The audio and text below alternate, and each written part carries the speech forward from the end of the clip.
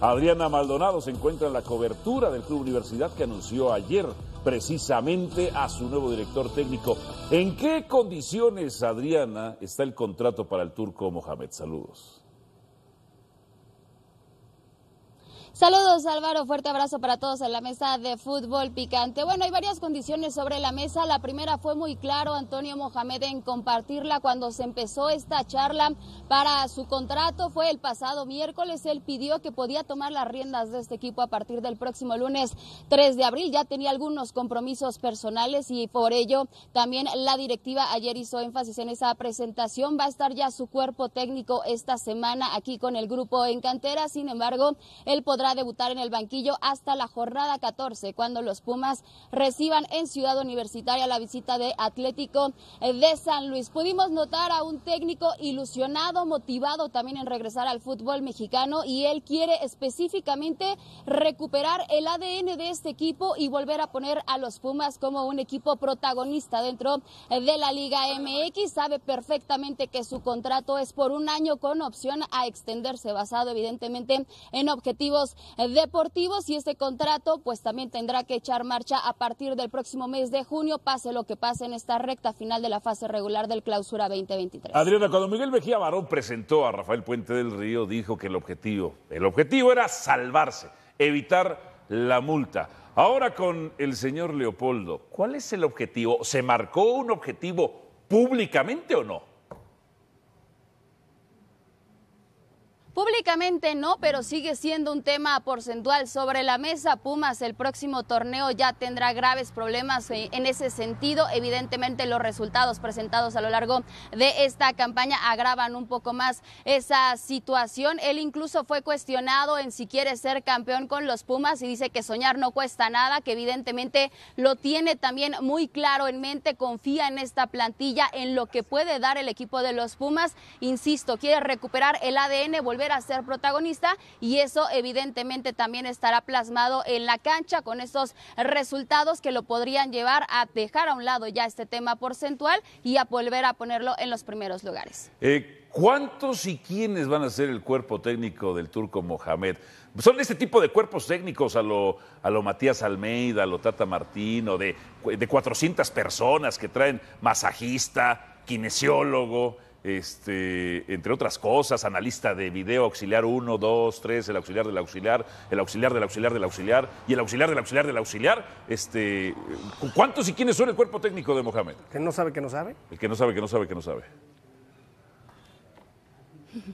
Por ahora, él confirmó ayer, justo a la pregunta que nosotros le hicimos en esa conferencia de prensa, que llega con su gente de confianza. Gustavo Lema, quien es el auxiliar técnico, también Claudio Kenny como preparador físico y Julio Gese, quien es su asistente personal. Por ahora, estos son los miembros que llegarían el próximo viernes a Cantera para ya trabajar con el equipo y estar presentes el domingo justo en esa visita que tiene el equipo de los Pumas con los Gallos Blancos del Querétaro. Veo las imágenes de Leopoldo Silva, Adriana lo veía sonriente, y el doctor Miguel Mejía Barón, eh, ¿él, estaba sonriente? ¿Cómo, ¿Cómo estaba en la conferencia de presentación?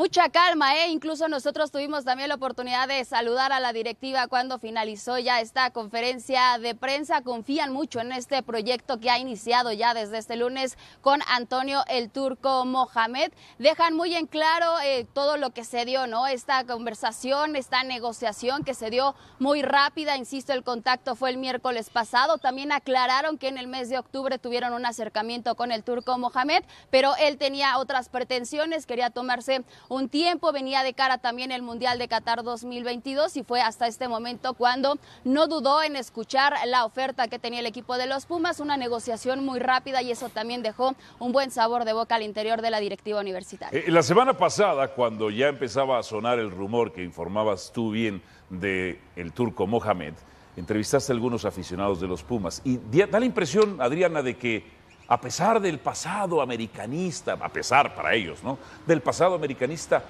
no les importa, ¿verdad? Pues al menos el contacto que nosotros hemos podido tener con algunos aficionados, hay mucha ilusión. La verdad es que sí cayó muy bien en algún sector de la afición de este equipo la llegada de Antonio el Turco Mohamed y ellos confían en que este proceso desde cero puede salvar uno este semestre. Saben que están a un punto de jugar la etapa de repechaje o al menos de regresar a esos puestos de reclasificación. La afición hoy está del lado de Antonio Mohamed. Adrián, un saludo. ¿De dónde van a sacar el dinero para los refuerzos? Porque llevan años que venden para pagar lo que deben. Es decir, ¿el turco le aseguran que va a haber presupuesto para armarse en el verano? Pues mira, John, un gusto saludarte. Se liberó un poco, sí, el tema con la salida de Dani Alves. Ahí hay un poco de presupuesto. Este club se maneja al igual que otros clubes dentro del fútbol mexicano. El tema de patrocinadores, de ventas, los derechos también de transmisión que tiene convenios con algunas empresas. De ahí saldrá el principal ingreso para hacer esta pues reestructura de la plantilla en el verano próximo. Evidentemente, Antonio ayer fue cuestionado también sobre este tema y también mencionó que por ahora quiere darse su tiempo, quiere estudiar a cada uno de los jugadores, ver cómo están aportando al equipo y hasta que ya finalice la participación de los Pumas en este clausura 2023, entonces sí ya se sentará a platicar con la directiva y también junto con su cuerpo técnico para hacer esta reestructura en el plantel. Eh, Adrián, ayer reportaba nuestro compañero Rafael Ramos que la mitad del sueldo la estaría pagando Bragarnik y que se estaría filtrando Bragarnik en los Pumas, que también, por otra parte, existe la información y es común entre los representantes, a cambio de comisiones, triangularse ciertas labores de negociación. En este caso se reporta que Once Sports habría hecho la negociación, pero que además, a su vez, como lo hace Hurtado o como lo hizo en su momento Sainz, ponen subrepresentantes, o Jorge Méndez, eh, ponen subrepresentantes para encargarse de casos específicos. Eh, ¿Bragarnik está detrás del turco Mohamed?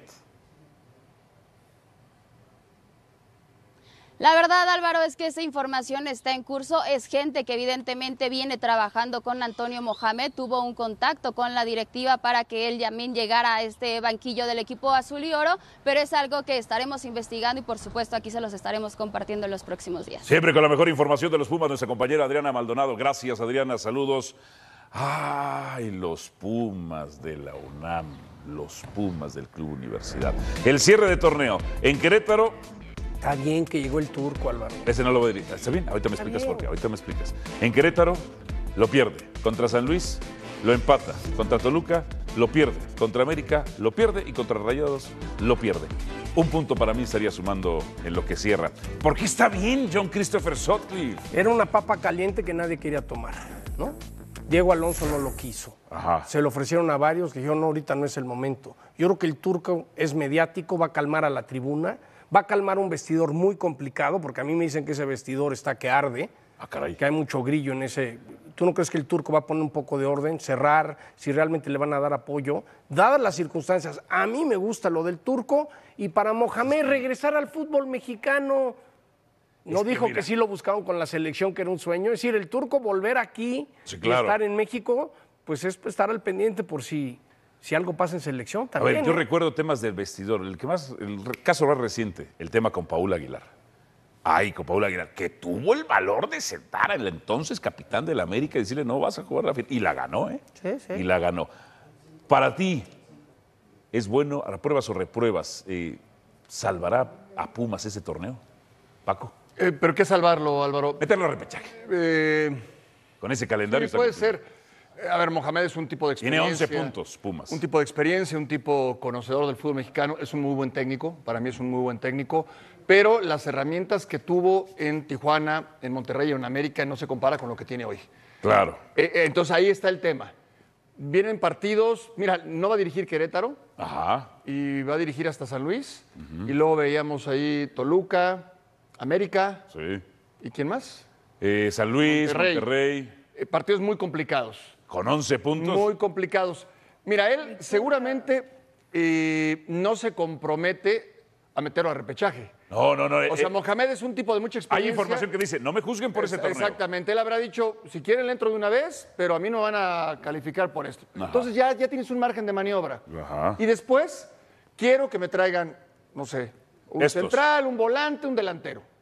Y un portero, no sé, eh, vamos a suponer cuatro refuerzos. Va a querer a Iván Marcones seguramente. Bueno, si no se los traen, Ajá. bueno, yo les pedí cuatro, me trajeron uno. Yo les pedí cuatro, me trajeron dos, y de los dos. Ah, va a empezar a no, justificar. no, no, lo que te quiero decir es un tipo de experiencia, Sí. no come vidrio, No. no se va a quemar en este torneo, Se la saben esas. y en el otro va a decir, perfecto, Ajá. si me traen los refuerzos, les garantizo esto.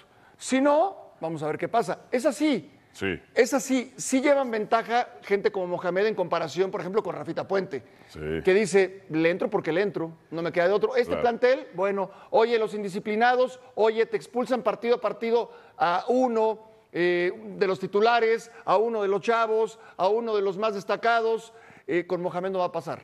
Porque el jugador sabe, sabe hasta dónde. El jugador mide al técnico y mide las circunstancias. Hinchistas. Hoy, ah, no, no. Le el jugador es así. le miden el agua, jugador los es así, tamales. claro, claro. Eh, claro. está muy Una victoria y se meten a, a décima posición Pumas, ¿eh? Digo, para que veas que también nuestro torneo, ahora sí que el que no califique es por burro, ¿no? Como en la NBA, casi todos clasifican en la NBA. Sí, como en la NBA. O este, a ver, Mauricio Imay, en la carrera de